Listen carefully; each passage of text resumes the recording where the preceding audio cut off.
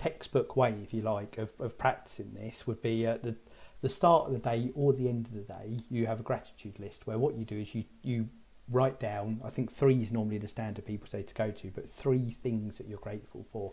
And like you said, Joe, they can be big, massive things that might have happened in the day or the previous day, or they could be little everyday, day to day things, which often are actually the most powerful things. And you know, that can be down to as much as it's freezing outside, but I'm inside and I've got the heating on, or I'm really looking forward to a meal tonight, or we went out and had something that was really nice, or I got to go to the cinema yesterday and watch for me, latest Marvel film, whatever it is. But you know, things that you are grateful for that have happened to you or you've got upcoming, and I say big or as small, and that's the that's the pretense of doing it. And I will I will say, as you know, I'm not a list man. Generally, Joe is I don't do that, but I think I do it in my own way. I really buy into the mindset, so I will.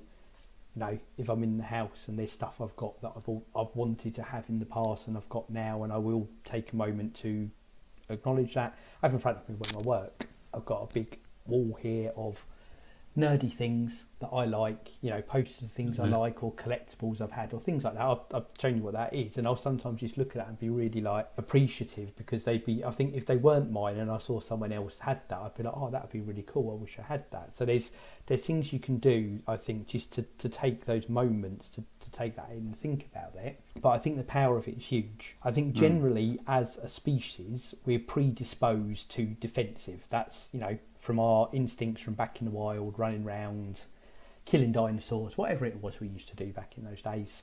But you've got a natural inbuilt defense instinct as a species. So if we sense a threat, we will defend ourselves. And I think that can go wider that you're almost scanning for threat. So there's I think there is a, a lean that our minds have to go to what could be perceived as a negative because this could go wrong, this could be a problem, this could happen. All, all those things I think are, are experienced from that survival instinct to one way or another. And I think there's also, we talked about, I mean, there's an episode ages ago, I can't even remember the number. I want to guess at 14 and have a look in a minute and we'll see if it really is, that we called Avoid the Moaning Club because it's so easy to fall into negativity. You know, it's a lot easier to complain about a problem than solve a problem or it's a lot easier to create the manifestation of a problem to avoid challenges. So, you know, again, and, and I think all of these root from the same place. And I think it's a fight. I think as people,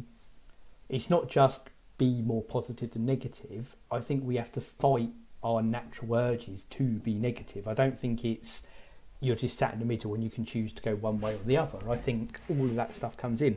I saw a really good infographic actually on um, LinkedIn the other day. There's a guy I've started following. It's the same guy I got the train story from that I talked about a few weeks ago. Oh yeah, um, and he had the it was the ladder of accountability, and it was like a ladder up, and you got your first four steps, and it starts with you know things like blame, denial, all those things that are the you know the steps you know where you start you you you refuse to even see there's a problem, then you blame other people for it, and it's the can't you can't solve it, and that moves into acceptance of a problem and thinking of ideas, and it goes all the way up until you get to true accountability. And it's I think it's if you're on that bottom rung, you've almost got to go through all of those steps to get to the top bit. And again, I think without being conscious about it and without working on how you are the human instinct is almost below that line rather than above it. And don't get wrong, it's you know we're in a place where we are above that. We advocate doing that. It's what all this is about. But I do think it's a fight. You have to train yourself. The same that if you never run, your fitness will be really low. We talked off air, Joe. You were saying about how you've got a really high level of fitness right now. Um, well, compared to what it was. But no, no, no. Don't and don't don't talk it down. But that's come from doing the work. If you weren't doing the work, you'd be in the bad state, if you like. The same that dieting. If you just eat crap all the time, which is an instinct, well, you know, it's like that's comfort food. It's a go-to. It's very easy to do, but it's very difficult to not do it, which is what gets you the good results. You have to fight that the path of least resistance, which is again, I think, is a natural state to go to. And I think it's the same with mindset. I think we are built to err towards the cautious, which breeds negativity, and you have to fight that to get to the other side. And I think that's where the gratitude thing comes in. I think by that's one way of training your brain and forcing that and making it something you're surrounded by.